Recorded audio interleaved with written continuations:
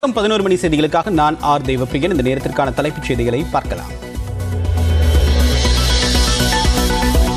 ஆளுநர் R N ரவியுடன் Chennai காவல் ஆணையர் சந்தீப் ராய் ரத்தோர் சந்திப்பு. ஆளுநர் மாளிகை முன்பாக பெட்ரோல் குண்டு வீசப்பட்டது தொடர்பாக விளக்கம் அளித்ததாக தகவல்.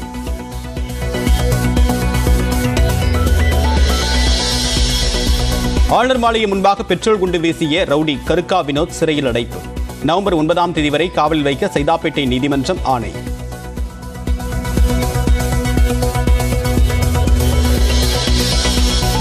பெட்ரோல் குண்டுவீச்சு எதிரொலியால் ஆளுநர் மாளிகைக்கு பாதுகாப்பு அதிகரிப்பு உதவி ஆணைய தலைமையில் இரண்டு காவல் ஆய்வாளர்கள் உட்பட முப்பது போலீசார் கூடுதலாக பாதுகாப்பு.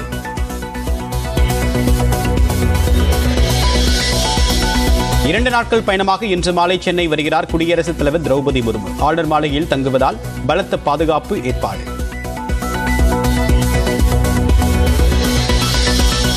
சென்னை கோயம்பேடு சந்தையில் தக்காளி வெங்காயம் விலை கிடுகிடு உயர்வு. ஒரு கிலோ தக்காளி முப்பது ரூபாயும் பெரிய வெங்காயம் அறுபத்தி ஐந்து ரூபாயும் பீன்ஸ் நூற்றி இருபது ரூபாய்க்கும் விற்பனை.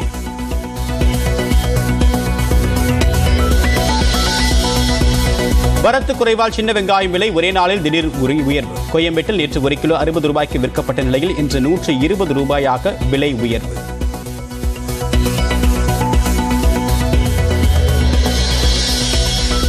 இருபது சதவீத போனஸ் கோரி அரசு போக்குவரத்து கழகத்தை சேர்ந்த ஒன்பது சங்கங்கள் மூன்று நாள் போராட்டம் அறிவிப்பு. அக்டோபர் முப்பதாம் தேதி முதல் காத்திருப்பு போராட்டம் நடத்தவும் முடிவு. கர்நாடக மாநிலம் சிக்பெல்லாப்பூர் அருகே சாலை நின்றிருந்த லாரி மீது கார் மோதியதில் பதினைந்து பேர் உயிரிழப்பு. ஆந்திராவிலிருந்து பெங்களூரு சென்றபோது பரிதாபம்.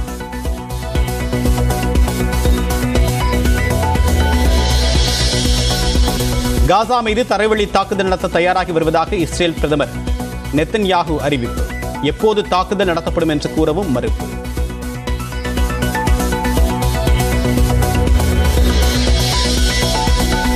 இஸ்ரேல் பிரதமர் நெத்தன்யாவுடன் அமெரிக்க அதிபர் ஜோ பைடன் தொலைபேசியில் பேச்சு. ஹமாஸ் அமைப்பினர் பிடித்து வைத்திருப்பவர்களை விடுவிக்க வேண்டிய நடவடிக்கை குறித்து ஆலோசனை.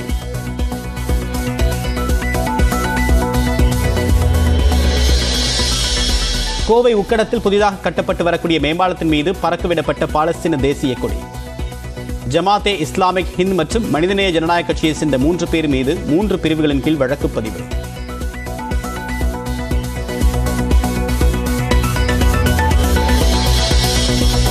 தங்கத்தின் விலை ஒரே நாளில் முன்னூற்று அறுபது ரூபாய் உயர்வு. ஒரு சவர் நாற்பத்தி ஐந்தாயிரத்து அறுநூறு ரூபாயாக அதிகரிப்பு.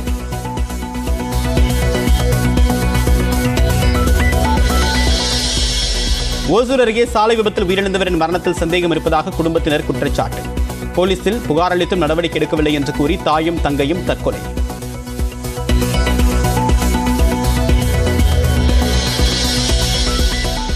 திருப்பதியில் நாள் ஒன்றுக்கான அன்னதான நன்கொடை கட்டணம் முப்பத்தி மூன்று லட்சம் ரூபாயிலிருந்து முப்பத்தி எட்டு லட்சமாக உயர்வு. விலைவாசி உயர்வு காரணமாக முடிவு.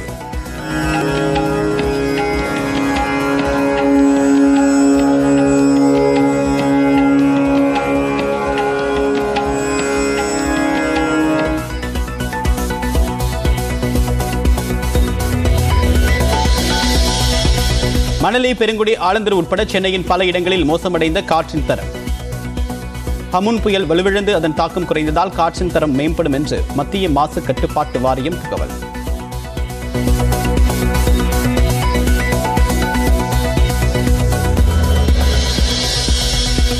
மீண்டும் ஆயிரம் ரூபாய் நோட்டுகள் புழக்கத்தில் வர வாய்ப்பில்லை. சமூக வலைதளங்களில் தகவல் வெளியான நிலையில் ஆர்பிஐ விளக்கம்.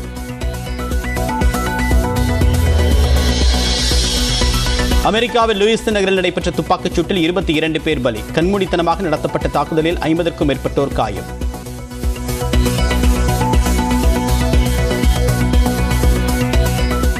கோத்தகிரி மேட்டுப்பாளையம் மலைப்பாதையில் காரை பந்தாடிய ஒற்றை காட்டு யானை காரை தாக்கியுள்ளது. கூடுதல் தகவலின் இரண்டுடைய செய்தியாளர் ஐயாசாமி. ஐயாசாமி விவரம் என்ன? தேவப்பிரியன் கோத்தகிரியிலிருந்து மேட்டுப்பாளையம் செல்லக்கூடிய சாலை என்பது அடர்ந்த வனப்பகுதியை கொண்டுள்ளது. குறிப்பாக இந்த சாலைகளில் அவ்வப்போது உலாவரும் காட்டு யானைகள் சில சமயங்களில் வாகனங்களை தாக்கும் சம்பவம் நடந்துள்ளது. அதே போலதான் இந்த நேற்றைய மாலை இந்த கோத்தகிரியிலிருந்து மேட்டுப்பாளையம் செல்லக்கூடிய மலைப்பாதையில் வாகனங்கள் சென்று கொண்டிருந்த பொழுது திடீரென வனப்பகுதியிலிருந்து வெளியேறிய ஒற்றை காட்டு யானை ஒன்று ஒரு காரை வழிமறித்தது. உடனே யானையை கண்டவுடன் கார் ஓட்டுநர் வேகமாக இயக்கிவிடலாம் என்று எண்ணிய போது காரின் முன்ன காரின் முன் வந்த யானை திடீரென காரை தாக்கியது. உடனே காரில் இருந்தவர்கள் அலறி எடுத்து ஓட்டம் பிடித்தனர். பின்பு அந்த காரின் பின்பு இருந்த வாகன ஓட்டிகளும் முன்பிருந்த வாகன ஓட்டிகளும் கூச்சலிட்டதால் மேலும் ஆச்சரியமடைந்த காட்டு யானை காட்டு யானை காரை மீண்டும் சேதப்படுத்தியது. இதனால் பெரும் பரபரப்பும் ஏற்பட்டது. தொடர்ந்து மலைப்பாதைகளில் இந்த காட்டு யானைகளின் நடமாட்டம் என்பது நாளுக்கு நாள் அதிகரித்தும் காணப்படுகிறது. எனவே வனத்துறையினர் இந்த யானைகள் நடமாட்டம் உள்ள பகுதிகளில் நாள்தோறும் ரோந்து பணியில் ஈடுபட்டு இந்த வாகன வாகன ஓட்டிகளுக்கு எந்த எவ்வித அச்சமுமின்றி பயணிக்கும் பயணிக்க நடவடிக்கை எடுக்க வேண்டும் என்ற ஒரு கோரிக்கையும் எழுந்துள்ளது தேவப்பிரியன். உங்களுடைய விரிவான தகவலுக்கு நன்றி ஐயாசாமி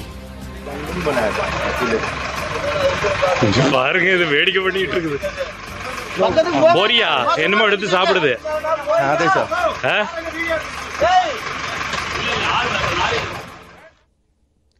சென்னை கோயம்பேடு சந்தையில் காய்கறிகளின் வரத்து குறைந்ததால் சின்ன வெங்காயத்தின் விலை அதிரடியாக உயர்ந்துள்ளது. சென்னை கோயம்பேடு சந்தைக்கு வழக்கமாக ஐந்தாயிரத்து ஐநூறு டன் காய்கறிகளும் ஆயிரத்து இருநூறு டன் தக்காளி விற்பனைக்கு கொண்டு வரப்படும். ஆனால் மழை மற்றும் தொடர் விடுமுறை காரணமாக வாகன போக்குவரத்து குறைந்ததால் காய்கறிகளின் வரத்து குறைந்துள்ளது. இதன் காரணமாக தக்காளி வெங்காயம் பீன்ஸ் சின்ன வெங்காயம் முள்ளங்கி போன்ற காய்கறிகளின் விலை உயர்ந்துள்ளது.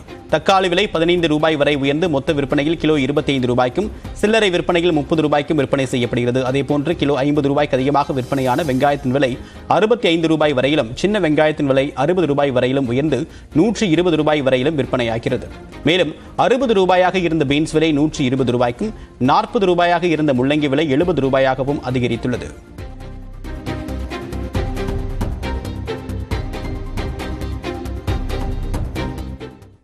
சிதம்பரம் அருகே மாணவர்களை ஏற்றிச் சென்ற பள்ளி பேருந்து திடீரென்று தீப்பிடித்து எரிந்ததால் பரபரப்பு ஏற்பட்டது. சிதம்பரம் அருகே தீர்த்தம்பாளையம் பகுதியில் சென்று கொண்டிருந்த பள்ளி பேருந்தின் முன்பக்கம் திடீரென்று புகை வந்தது. இதனை கண்ட ஓட்டுநர் முருகன் பேருந்தை நிறுத்திவிட்டு பதினைந்திற்கும் மேற்பட்ட மாணவர்களை பேருந்தில் இருந்து உடனடியாக கீழே அழைத்து சென்றார். அதனைத் தொடர்ந்து பேருந்து தீப்பிடித்து மளமளவென்று எரிந்தது. தகவல் அறிந்து வந்த தீயணைப்புத் துறையினர் ஒரு மணி நேரம் போராடி தீயை அணைத்தனர். பேட்டரியில் இருந்து தீப்பிடித்ததாக முதற்கட்ட விசாரணையில் தெரிய வந்துள்ளது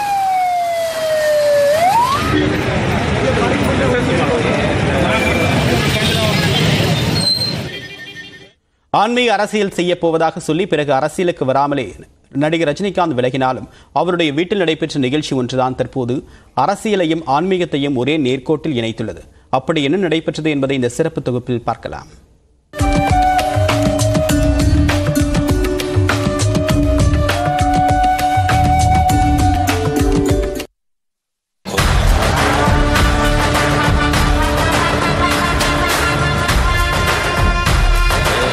ஜெயிலர் வெற்றியை தொடர்ந்து இயக்குனர் ஞானவேலின் புதிய படத்தில் அமிதாப் பச்சனுடன் இணைந்து களமிறங்கி விட்டார் ரஜினி. முப்பத்து மூன்று ஆண்டுகளுக்கு பிறகு அமிதாப்புடன் மீண்டும் இணைந்தது மகிழ்ச்சி அளிப்பதாக கூறி அவர் பகிர்ந்த படத்தை ரசிகர்கள் கொண்டாடி கொண்டிருக்கின்றனர். ஆனால் ரஜினி இல்லாமல் அவர் வீட்டில் ஒரு ஆன்மீக அரசியல் நடந்துள்ளது. அதாவது நவராத்திரி விழாவையொட்டி சென்னை போயஸ் தோட்டத்தில் உள்ள ரஜினி வீட்டில் நடைபெற்ற பூஜையில் பிரபலங்கள் தொடங்கி அரசியல் பிரபலங்கள் பலரும் பங்கேற்று ஒருவரை ஒருவர் விசாரித்துக் கொண்டதும் ஒன்றாக வழிபாடு நடத்தியதும் திருஷ்டிப்பட்டுவிடும் அழகுதான். ரஜினியின் மனைவி லதா மகள்கள் ஐஸ்வர்யா சௌந்தர்யா ஆகியோர் இதற்கான ஏற்பாடுகளை செய்தனர்.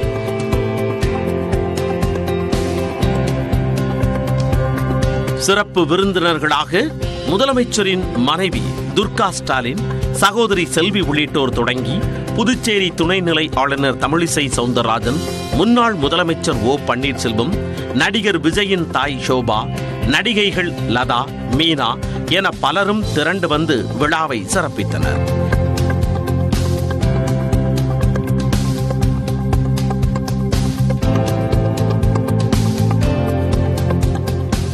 சென்னை மாநகராட்சி ஆணையர் ராதாகிருஷ்ணனும் குடும்பத்துடன் கலந்து கொண்டார்.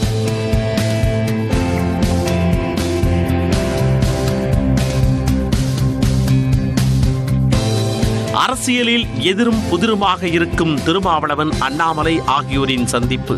அரசியல் நாகரிகத்தை பறைசாற்ற அதற்கு மற்றும் ஒரு எடுத்துக்காட்டாக இருக்கிறது. நடிகர் ரஜினிகாந்தின் வீட்டில் நடந்துள்ள நட்சத்திர நவராத்திரி. நியூஸ் எயிட்டின் தமிழ்நாடு தொலைக்காட்சி செய்திகளுக்காக வரலாறு சுரேஷ். ஜி